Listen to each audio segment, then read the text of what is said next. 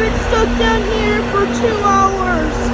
This heater is really getting to me. It's cooking me off.